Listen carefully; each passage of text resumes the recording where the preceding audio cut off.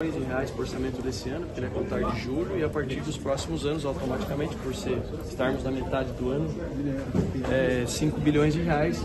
A proposta construída aí não só pela, pela equipe nossa da Secretaria, mas pelas instituições de maneira única no estado de São Paulo, onde a própria Secretaria protagonizou e entendeu que essa recomposição salarial da carreira era algo importantíssimo que o percentual não sendo linear para atender as três principais premissas, né, premissas do, do projeto, fomentar a atratividade na carreira, por isso que o soldado, exemplo da Polícia Militar, o soldado PM segunda classe vai receber esse ano o maior percentual, estou falando de 31% de aumento salarial para o soldado segunda classe, a, a, fomentar e estimular a progressão na carreira, por isso que o subtenente da Polícia Militar também teve um excelente aumento salarial, estou falando de 30% do subtenente esse ano, para que o cabo que esteja lá em Aracatuba, Bauru, é, Ribeirão Preto, ele tem estímulo para que ele venha para a escola de sargento, escola de sargentos, para que ele possa, é, de fato, sentir a diferença desse, desse aumento salarial. É, então é premissa de atratividade na carreira, que vem caindo nos últimos concursos, retenção dos melhores talentos, que eu não mencionei, e estímulo à progressão na carreira. Qual é o salário inicial, o piso da Polícia Militar agora com essa proposta? Nós estamos saindo aí de R$ 3.500 para contando com a diária alimentação para mais de R$ 5.600, um excelente reajuste salarial. É, de 3.500 para mais de mil reais aí de aumento salarial no bolso do policial. Perceba que nós não quisemos trabalhar ao contrário do que outras gestões fizeram, é, com bonificações que que, que acabam pegando somente o pessoal da ativa da, das polícias, como diária alimentação e outros benefícios que compõem ali um, uma série de penduricalhos da remuneração total. Nesse primeiro momento, entendemos que a recomposição para todos ativos e para os veteranos era o mais justo a ser feito, cumprindo uma promessa de campanha do governador e a partir das próximas sim podemos pensar em um aumento linear. Agora, esse aumento vai ser só esse ano? A gente não que não, vai ter uma... Ele, ele, uma, uma das, das propostas que a gente apresentou, o impacto negociado, era negociado, eu digo, com o governador, fazenda, todos os, os agentes que participam desse processo. Era o impacto de 2 bi esse ano, 4 bi ano que vem, 5 bi em 2025 e 2026, 7 bi.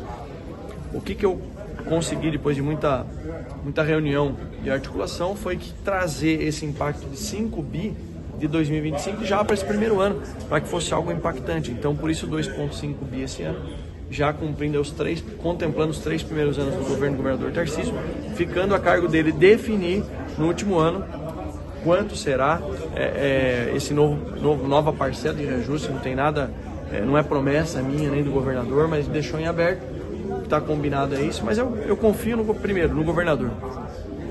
Na real valorização, nunca na história do governo de São Paulo, em quatro meses de governo, um governador apresentou uma recomposição salarial no primeiro tão rapidamente, com impacto tão grande. Segundo, eu confio na equipe do governador, no grupo de secretários, confio no, no secretário Samuel Kinoshita, em todos os secretários no time que vai fazer com que São Paulo gere mais emprego, renda, que aumente receita. Isso vai proporcionar para o governador, aliado ao trabalho das polícias que vem sendo exemplar, em termos de aumento de produtividade, redução de indicadores criminais, fazer com que o próprio governador fale, pô, se eu tenho espaço, se aumentei a arrecadação, por que não reconhecer e valorizar os profissionais se dedicam diariamente para isso? Então tenho certeza que esse é o primeiro, palavras do governador e é, corroboradas, claro, por mim é o primeiro, não é o único, e a gente tem a plena convicção que o policial vai se sentir muito mais motivado para continuar trabalhando e para a sociedade, que é o que mais nos importa, aliado a, aos, às vagas já autorizadas, 9.300 uhum. policiais de concurso já autorizados, com, esse, com essa eh, recomposição salarial, a carreira torna-se muito mais atrativa. Então a gente vai poder entregar na ponta da linha um efetivo, o início da recomposição do efetivo, que é a pior defasagem da história, vocês sabem, agora com um salário mais digno, certamente a gente vai entregar uma segurança pública de mais é qualidade. A média, a média, secretário, é, é que a média é de 20,2% né, de aumento, reajuste, pelo que o governo passou. O senhor pode detalhar um pouco mais desses Quantas aumentos? Faixas, gente, a gente vai mandar Pessoal, vamos lá, ó, a gente manda o projeto para vocês, mas é para atender essas premissas, a gente não fez um aumento linear. Uhum. Entendeu? Primeiro, assim, com relação ao impacto, né? É, que nós vimos em todos os governos anteriores foi 4, 5% no último ano, porque ele pensa nos 4 anos de governo, mas não preciso, eu, essa conta aí de 20,2, se realmente for isso, é, já, já se torna quatro ou cinco vezes maior do que todos os antecessores. É, o que nós nos preocupamos é foi em atender as premissas: atratividade, retenção dos melhores talentos, estimular o fluxo e a progressão na carreira. A pergunta do, do, da imprensa aqui do meu amigo Marcos vai depender de como a Assembleia vai, vai tramitar esse, esse projeto, mas está no impacto orçamentário do Estado a contar de julho deste ano, já com o pagamento em agosto desse ano. Então é 2,5 bi de impacto esse ano e 5 bi no ano que vem. 5 no ano que vem, porque automa- automaticamente você dobra. Se a partir de julho desse ano são, é, é um semestre, pro ano que vem, pega o ano todo, com todos os meses, aí você multiplica por dois. policiais contemplados, secretário? Todos os policiais. Então, São mais mais o de número é 107 mil policiais do civis, Estado de São Paulo. militares. Civis, militares e técnicos científicos. É um impacto grande por isso. Não, é, quando eu falo bombeiros, é, é até uma. É- é- eu, eu também fui bombeiro.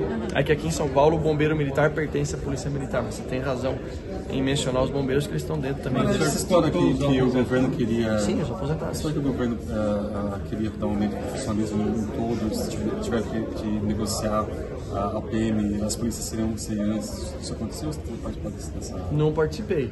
Eu sei que todo o funcionalismo público, palavras do governador hoje, serão contemplados com reajuste salarial acima do índice inflacionário. Isso também é histórico. E a polícia penal vai ter? Vai ter aumento?